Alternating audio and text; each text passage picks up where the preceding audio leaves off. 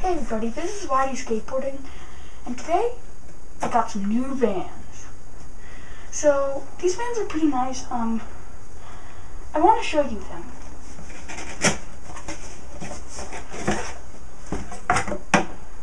Pretty nice. I only tried them on in the store. Um, they were on sale for $40, and half of it is suede, and half of it is canvas. So yeah or ultra cushy says. Um, yeah, so I will see you guys tomorrow for some skating on these.